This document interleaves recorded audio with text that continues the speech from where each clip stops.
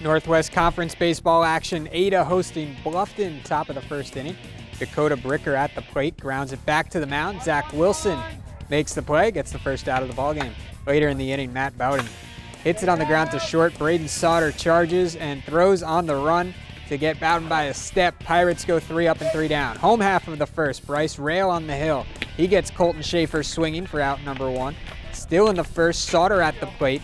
The senior hits a hard liner to short, but Bowden makes the leaping catch, robbing Sauter of a hit and retiring in the side. Scoreless after one, but Bluffton's bats get going later on.